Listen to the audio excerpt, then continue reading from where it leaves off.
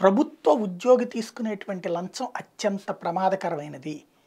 తన అవసరం కోసం తీసుకునేటువంటి లంచం సామాన్య ప్రజల నుండి ఆ ప్రజల అవసరాల నుండి అంటే ఆ ప్రజలు ప్రభుత్వం చేత పరిపాలించబడతారు. అంటే ఈ దేశానికి సంబంధించినటువంటి వాళ్ళు.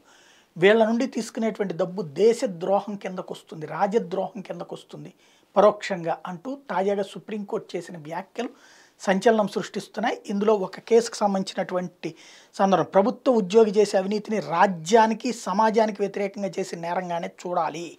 ఇది సుప్రీంకోర్టు తేల్చి చెప్పింది.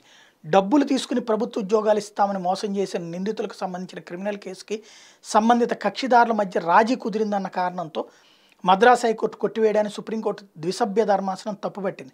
హైకోర్టు ఉత్తర్వులు పక్కన పెట్టి నిందితుల మీద క్రిమినల్ ఫిర్యాదును మళ్ళీ తెరవాలని ఆదేశించింది. డబ్బులతో ప్రభుత్వ ఉద్యోగాలు కొనేవాళ్ళు తిరిగి ఆ మొత్తం సంపాదించడానికి అవినీతికి పాల్పడతారు. దీంతో పరోక్షంగా ప్రజలు బాధితులవుతారు. అందువల్ల ఇట్లాంటి కేసులో నిందితులు ఉపేక్షించకూడదు. ప్రభుత్వ ఉద్యోగి చేసేటువంటి అవినీతి రాజ్య వ్యతిరేక నేరం కిందనే పరిగణించాలంటూ వ్యాఖ్యానించింది.